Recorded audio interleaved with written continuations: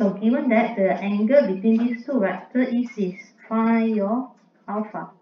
Alright, so for vector R1 will be equal to 1 alpha 2.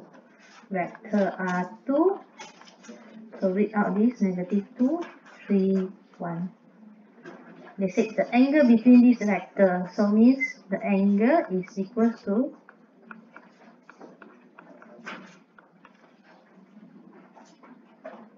cos inverse 1 over square root 84.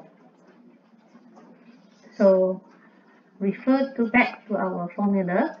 If you want to find angle between two vectors, it will be cos theta equals to vector A dot vector B, then magnitude A, magnitude, magnitude B.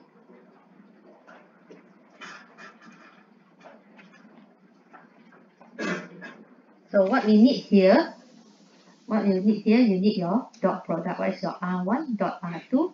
What's your magnitude A, This is R1?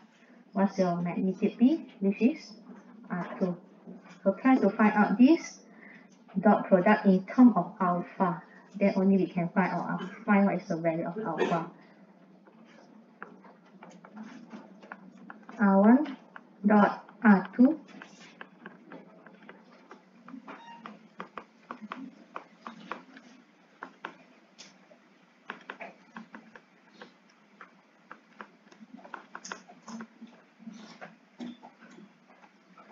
then magnitude R1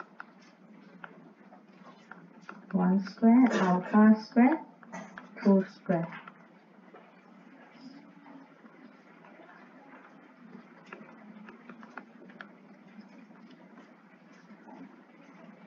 Magnitude R2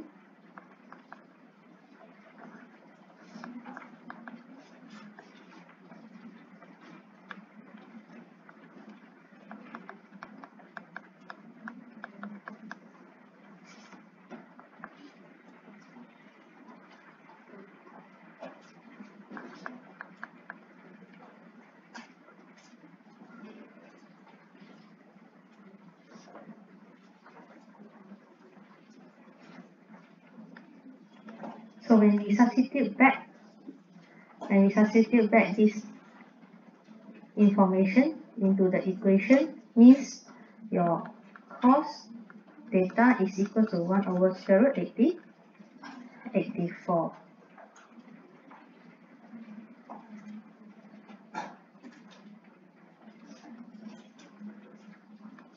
Or we can directly move it so so from here data we can compare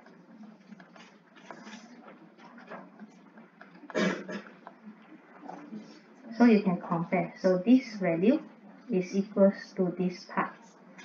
Indirectly that means a dot b from here will be represented by your r dot r over magnitude r1 magnitude r2 will be equal to 1 over square root 84 alright so if you move your cos back, cos theta equals to this value. So this value will be equal to 1 over square root 84. Substitute our dot product, 3 alpha. Magnitude.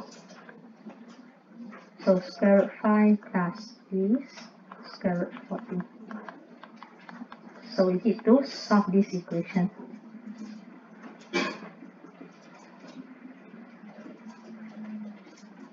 Simplify for this we cross multiply then we can square both sides to get to get off of this square root. So when you cross multiply it will be 3 third 84 alpha for that side. It will be third 5 plus alpha square third 14 then you square both sides to get off of the square root there is 9 times 84 here will be alpha square. For this square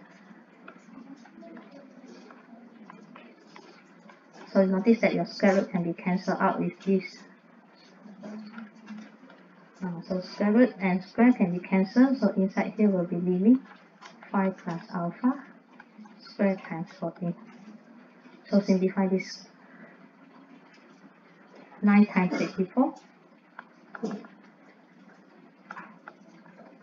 So this one expand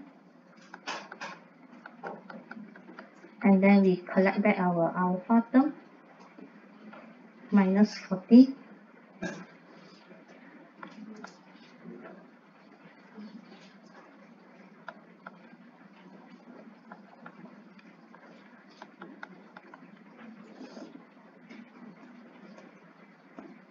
So lastly, alpha equals to 70 over this. So alpha can be positive, negative, square root, and the answer.